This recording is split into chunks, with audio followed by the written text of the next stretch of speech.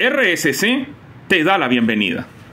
Hoy queremos hablar un poco acerca de la extensión de memoria que viene por defecto en los terminales móviles Xiaomi, ya sea que tengas MIUI o también sea que tengas Xiaomi HyperIOS. No importa cuál tengas, si tienes un MIUI 13, aplica también. Entonces algunos usuarios mencionan de que no activan la extensión de memoria porque sus teléfonos se han vuelto lentos.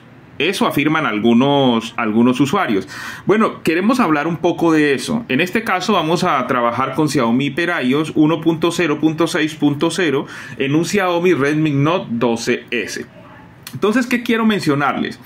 Bueno, cada opinión es válida respecto a los usuarios y la experiencia que tienen cada uno de ellos con sus terminales móviles, si sienten ciertas lag o ciertos bajones de rendimiento cuando activan la extensión de memoria. Pero queremos mencionar algo con relación a la extensión de memoria. La extensión de memoria no es nueva. Por ejemplo, Windows desde XP ya utilizaba esta opción de tomar una parte de la, del almacenamiento del dispositivo y convertirlo en memoria RAM cuando esta ya está al límite, cuando la memoria RAM física está al límite, entonces el teléfono puede comenzar a tirar archivos de paginación para que luego el procesador las tome. Entonces, ¿qué ha sucedido? Algunos han mencionado de que realmente cuando activan la extensión de memoria, su teléfono se vuelve completamente lento. Entonces, a ese respecto es que queremos trabajar un poco. Quiero mencionarles algo. Los teléfonos actualmente son muy diferentes a los teléfonos antiguos o a un disco duro antiguo que utilizaban las computadoras.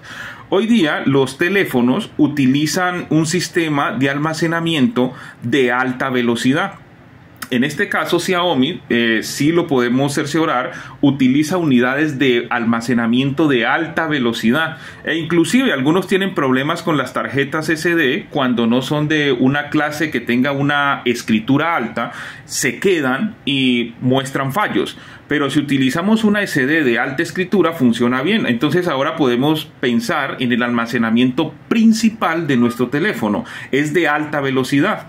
¿Y qué es lo que hace la extensión de memoria? La extensión de memoria va a coger un pedazo de nuestro almacenamiento del teléfono como memoria RAM. En este caso, si yo tengo 8 GB de extensión, entonces va a tomar 8 GB de mi almacenamiento principal. Entonces, no es que constantemente al seleccionar esa parte del almacenamiento principal, nuestro teléfono va a estar usando ese almacenamiento principal. No, no funciona de esa manera. Solamente lo va a usar cuando nuestra memoria física llega al límite, que hay un, estemos haciendo una operación donde la memoria física llega al límite, en ese caso si ya nuestro teléfono va a comenzar a paginar en nuestro almacenamiento principal. Pero eh, he hecho algunos análisis y realmente no he sentido ningún tipo de quedada en el teléfono o de lag, no lo he sentido. Entonces ya cada usuario tiene su experiencia. Entonces te invito que en este video, en, en, los comentarios, nos puedas escribir en qué momentos tú sientes bajo rendimiento, qué modelo de teléfono tienes y qué, qué experiencia has tenido con la extensión de memoria, si la mantienes activada o desactivada. Entonces, queríamos mencionarles este aspecto con relación a la extensión de memoria en los terminales móviles Xiaomi. No lo olvides, RSC